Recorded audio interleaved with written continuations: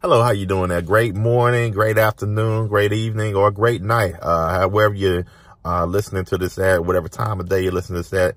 Uh, I believe God's got some great things in store for you. I'm excited because of uh, some things that I have happening for me. I want to talk today about consistent uh, consistency uh, in your life. If you want to achieve anything in life, if you want expect to see re some results, it's going to take consistency at what you're doing because if you don't stick to it, you lose your momentum.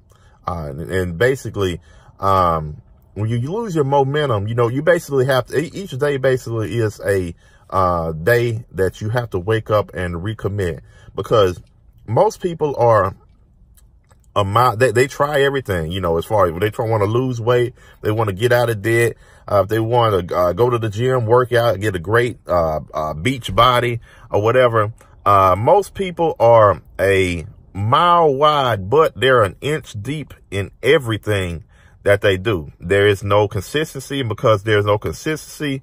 Um, there are no results. You have to be consistent at what you're doing. Uh, consistency is the key. If you want to see any kind of results, it's going to take being consistent at it.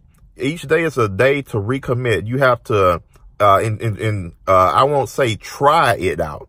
I would say commit to what it is that you're doing. Commit to it and say to yourself, I'm going to be here the next in the, in 90 days. Matter of fact, I'm and at the end of the 90 days, try no uh, commit to it for 90 days um, and see what your results are. And then at the end of that 90 days, let's go another 90 days. And at the end of that 90 days, go another 90 days.